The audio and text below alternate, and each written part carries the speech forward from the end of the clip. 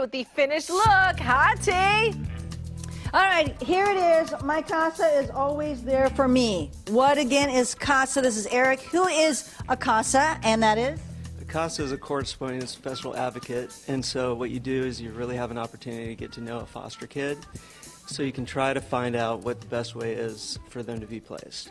Okay, and you've been doing this for about four years right now, right? I was on the board for four years, and I've been a CASA for a year. You know, every year on the board, we'd always have these call-outs for more male members. And so finally I decided, hey, why am I sitting here? I might as well get into the thick of it and actually get a, a CASA kit. There you go. And it's been an incredibly rewarding experience. Good, good, good. And then other casas right here. Your name? My name is Jackie. Hi, Jackie. All right. Also getting all glammed up too, but look, look, look. Assemblyman Ken Cooley is here. Oh, you're spoiled, aren't you? I'm getting the treatment today.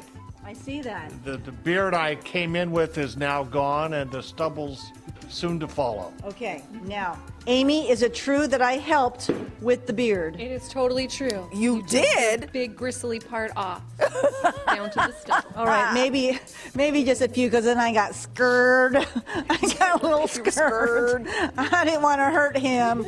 All right, so the event is here at Cerise Salon. Where's Cerise Salon? Tina Macuha at Watt and Fair Oaks, duh.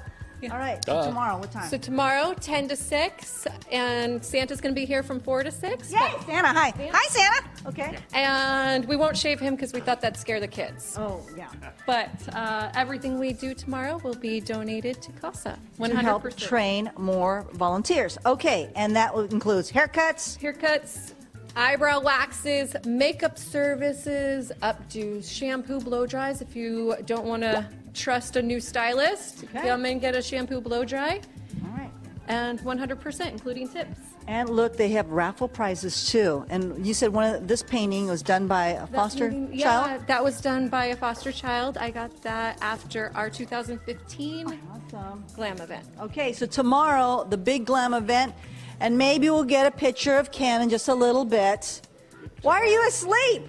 You got oh. things to do in the community. I do have things to do. But tomorrow, people can come here and enjoy the holidays and make a difference in the life of a child. This is time. weird talking to you while you're laying down. really, really weird. I even said, so what do you want to talk about? I want to know how to p- install a crosswalk, and I also want to know how to fix a street light. There you go. I have a contact now. Yeah, there you go. Back to you. He'll rue the day. He'll rue the day.